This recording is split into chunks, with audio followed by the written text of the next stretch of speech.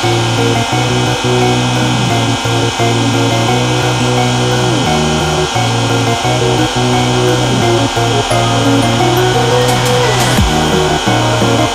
back.